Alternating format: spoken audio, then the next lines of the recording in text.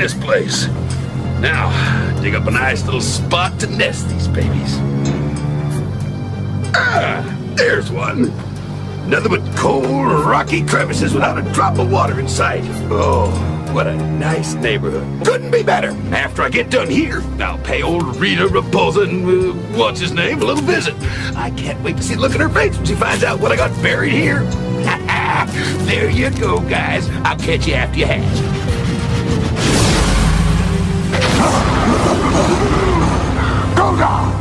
Goldar! Seize that intruder! Yes, master.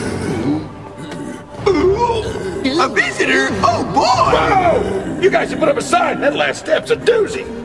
Rito Revolto! What are you doing here? Oh. You know this klutz? Know him? He's my brother! How you doing, sis? Rita has a brother? oh no. I knew I smelled something rotting. Uh, oh, yep, yep, that'd be me, all right.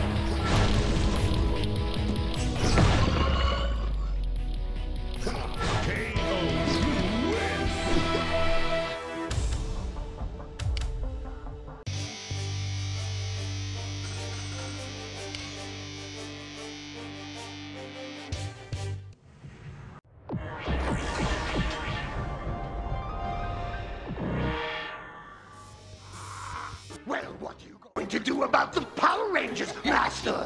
I know what I should do! I'll destroy him with a monster! Oh, Gee, I wish I thought of that. No wonder he gets the big bucks.